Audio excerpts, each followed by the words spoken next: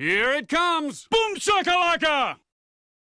Mais um vídeo de performance individual histórica aqui no Boom Shakalaka. O jogo do vídeo de hoje, na verdade, ele era uma das duas opções que perderam a enquete para o vídeo do jogo do Clay Thompson de 60 pontos em 11 dribles que eu fiz na semana passada, se lembram? Eu escolhi a opção menos votada dessa enquete, na verdade, o triple-double de James Worthy no jogo 7 das finais da NBA de 1988. Mas tem um motivo para ter escolhido ele, né? Porque nós estamos no meio das finais da NBA nesse exato momento. E nada mais justo do que fazer um vídeo de performance individual histórica de um jogador que conseguiu esta excelência em um jogo de finais de NBA. Vamos lá para o jogo Los Angeles Lakers e Detroit Pistons, finais da NBA de 1988, série empatada em 3 a 3, jogo 7, direto do Fórum em Los Angeles. James Worthy, que a essas alturas estava na sua sexta temporada na NBA, doutrinou no jogo 7. 36 pontos, 16 rebotes, 10 assistências, chutando 15 de 22 nos arremessos. Ele deu o título aos Lakers e, de quebra, também foi eleito o MVP das finais de 1988. Triple-double em jogo 7 de finais só viria a acontecer novamente 28 anos depois com o LeBron James nas finais de 2016, no jogo do título depois daquela virada de 3 a 1 para 4 a 3 do Cleveland Cavaliers em cima do Golden State Warriors. Vamos ver então como foi esse jogo histórico de James Worthy, colocando todos os lances dele na tela e já adianto, este não é um vídeo da série destruindo ídolos, pelo menos eu espero que não. Eu ficaria muito triste se o meu gêmeo de aniversário não tivesse conseguido este triple-double em um jogo 7 de finais. Sim, eu e James Worthy nascemos no dia 27 de fevereiro. Então vamos lá, bola ao alto, Pistons e Lakers direto do fórum, jogo 7 das finais da NBA de 88.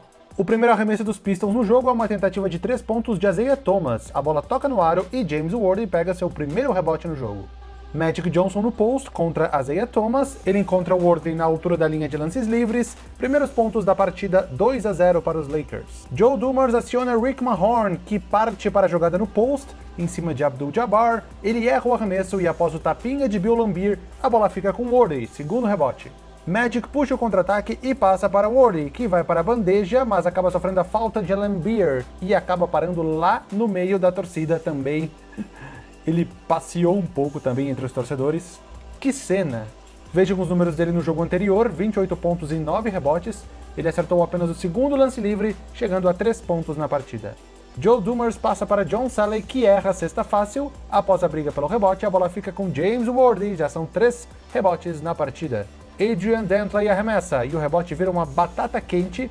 Após muitos tapas e mãos de alface, Worthy ficou com ela. Quarto rebote.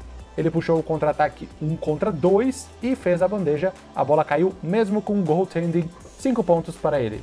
O placar agora é 12 a 11 para Detroit. Ward com a bola, ele aciona Magic Johnson no post. Com calma, o armador quica uma vez e finaliza em cima de Joe Dumars, primeira assistência de James Ward no jogo. Kareem abre para Michael Cooper, que vê bem James Ward próximo à cesta. Ele finaliza com um gancho de mão esquerda, chegando a 7 pontos no jogo. O placar nesse momento é de 15 a 15, como podemos ver na tela.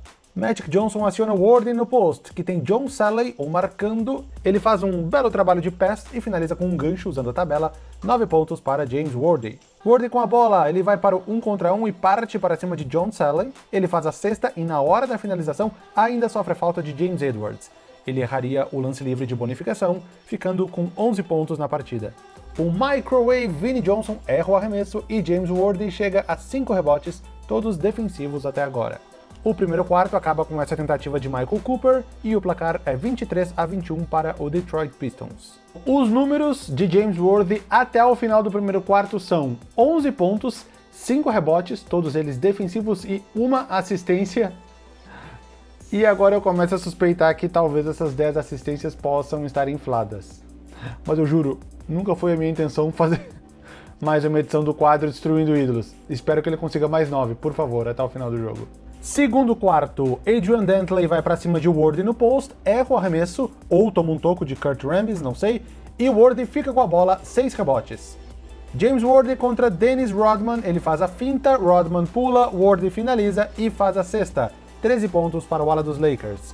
Michael Cooper faz o passe longo e James Ward fica encurralado, mas ele vê Michael Thompson no garrafão e o pai do Clay Thompson faz a sexta, segunda assistência de Ward e o fórum vai ao delírio. Agora uma estatística interessante que apareceu na transmissão, os Lakers tinham perdido todos os cinco jogos 7 de finais até aquele momento, quatro deles para o Boston Celtics. Ward recebe de Cooper e passa para Byron Scott, o camisa 4 faz a finta, infiltra e faz a sexta. Três assistências para James Ward.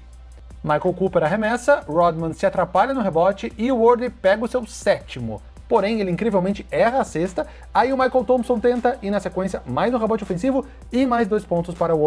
Então agora são oito rebotes, dois ofensivos e 15 pontos na partida. Ah, e eu me esqueci da falta cometida. Com o lance livre convertido, Ward chegou a 16 pontos. AC Green para Magic, que faz o longo passe para Ward, o Allen filtra e faz mais dois pontos na partida, chegando neste momento a 18. Ward recebe de Magic Johnson dentro do garrafão e faz mais uma cesta fácil. Agora são 20 pontos para ele. Nesse momento, a transmissão mostra que o Ward tem 4 rebotes no segundo quarto, pela minha contagem são 3, para mim ele tem 8 até agora, segundo o narrador são 9, veremos no final. O segundo quarto acaba com essa cesta de Azeia Thomas e esse longo arremesso de Magic que até chegou perto, hein? Jogadores rumam para o vestiário e a parcial é de 52 a 47 para o Detroit Pistons. Números de James Worthy até o intervalo: 20 pontos e a minha marcação bate com a da transmissão. 8 rebotes, embora na transmissão eles tenham dito em um certo momento que ele estava com 9. Foi aquele rebote a mais no segundo quarto que eu falei. E eu anotei 3 assistências, e na transmissão, até esse momento, eles não citaram o número de assistências do James Worthy em nenhum momento. Então eu não sei se a contagem está correta. Bora para o segundo tempo. Terceiro quarto, Kareem passa para Ward na cabeça do garrafão. Certeiro, 22 pontos para o ala dos Lakers. Magic Johnson, sempre ele no contra-ataque. O passe é para James Ward, que finaliza facilmente, 24 pontos para ele na partida.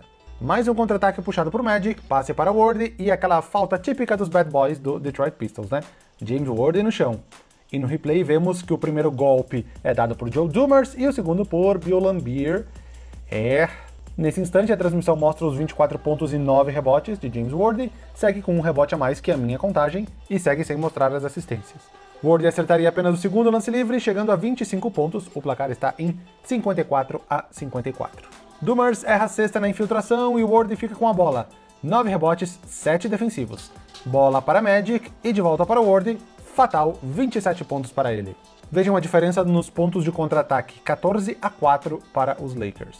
Magic Johnson pega o rebote sentado e passa para Ward. Contra-ataque 2 contra 1, passe para Byron Scott, que finaliza na bandeja. Quarta assistência de Ward. Jogada no post contra Dennis Rodman, Ward busca o espaço no garrafão, mas no fim encontra Byron Scott livre na linha de 3. Arremesso perfeito e 5 assistências para James Ward. Lakers abre 11 pontos, 70 a 59. Magic tenta Kareem, a bola volta para Magic, Worthy, Thompson. Worthy chega a 6 assistências, a terceira só nesse terceiro quarto. Magic no post vê a passagem de James Worthy, ele erra a sexta, mas pega o rebote ofensivo, tenta de novo e faz a sexta. Décimo rebote, terceiro ofensivo e 29 pontos no jogo. Magic Johnson aciona Worthy mais uma vez no post, ele faz a finta e sofre a falta indo para a linha de lances livres. E hora de dar uma limpada nos óculos com a toalha, né? Sempre bom.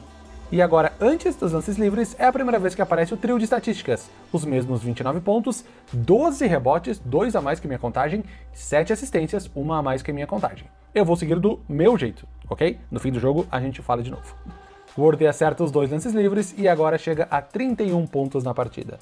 Agora ele parte para cima de Rodman no post, quando Vinnie Johnson decidiu ajudar, Michael Cooper ficou livre na linha de 3 pontos. Sexta e 7 assistências para James Worthy. Lakers volta a ter 11 pontos de vantagem. O terceiro quarto acaba nessa tentativa de Byron Scott e o placar é 8-3 a 7-3 para o Los Angeles Lakers. Parciais do terceiro quarto de James Worthy: 31 pontos, 10 rebotes e 7 assistências, embora a gente tenha visto dois rebotes e uma assistência a mais quando as estatísticas apareceram na tela. Vamos para o último quarto então, fechar a conta. Último quarto, Azeia Thomas para Joe Dumars, que erra o arremesso. 11 rebote de James Worthy, oitavo defensivo. Green para Worthy, para Magic, ele posiciona e acerta o longo arremesso de dois pontos. Worthy agora então tem oito assistências. Esse lance é curioso, Dantley pega o rebote ofensivo e tenta aparentemente um arremesso, pelo menos é o que parece. Se sim, mais um rebote para Worthy, o décimo segundo. James Worthy no post contra John Salley, ele faz o arremesso, a bola quica duas vezes no aro e acaba caindo. 33 pontos na partida, ainda restam 6 minutos e 20 e os Lakers lideram por 12. Kareem recebe no post e tenta o famoso gancho. No rebote, Worthy dá um tapinha direcionado para Michael Cooper, 13 rebotes, quarto ofensivo para James Worthy. Agora ele abre na linha de 3 pontos e passa para Magic Johnson no post. Ele vai para o gancho e conecta mais 2 pontos, então é a nona assistência de James Worthy. Magic Johnson faz o giro e erra o arremesso. Worthy pega dois rebotes ofensivos na sequência, dando tapinha decisivo no segundo deles, que confirmou mais dois pontos. Então agora 15 rebotes, sendo 6 ofensivos, e 35 pontos para Worthy, placar 100 a 96 para os Lakers. Vamos para o fim do jogo, Pistons atrás por 5 pontos, Vinnie Johnson erra o arremesso de 3, mas Joe Dumars pega o rebote e corta a diferença para 3. Na saída de bola, mais uma falta em James Worthy. Ele erraria o primeiro lance livre para desespero da torcida, mas acertaria o segundo, chegando a 36 pontos. Bill Lambier ainda acertaria uma improvável cesta de 3 pontos, cortando a diferença para 1, mas os Lakers voltariam a abrir 3 pontos na sequência com essa enterrada de AC Green. Na verdade, esse final de jogo é considerado extremamente polêmico. Os Pistons não tinham mais timeout, mas ainda restavam 2 segundos. O juiz apitou antes do relógio chegar no zero, ninguém entendeu nada, todo mundo invadiu a quadra e os Lakers foram declarados campeões pela quinta vez, só na década de 80. Bom, então de volta a James Worthy, eu contabilizei 36 pontos, check, 15 rebotes, sendo 6 ofensivos. No box score ele tem 16 rebotes, sendo que 5 são ofensivos, e 9 assistências no box score tem 10 assistências, o que justamente faz James Worthy ter um triple-double em jogo 7 de finais, coisa que só LeBron James conseguiria muito tempo depois, que nem eu expliquei antes. Ó, eu vou mostrar para vocês o único lance da partida que poderia ser considerado essa décima assistência do James Worthy. Quando o Worthy pega esse rebote no arremesso errado do Dantley, ele passa para o Michael Cooper. O Michael Cooper cruza a quadra com a bola, quicando ela quatro vezes e faz a cesta na bandeja. Eu acredito que essa seja a décima assistência de James Worthy na partida. Uma décima assistência muito, mas muito generosa por parte de quem estava fazendo as estatísticas do jogo naquele dia. Se a gente aceitar que valeu esta como uma assistência, então James Worthy tem um triple-double em jogo 7 de finais da NBA. Independentemente disso, que baita jogo, que título dos Lakers e que MVP das finais merecido para James Worthy, meu gêmeo de aniversário, 27 de fevereiro. Anotem a data aí, me mandem presentes. Valeu quem assistiu mais esse vídeo no Boom Chacalaca e até o próximo!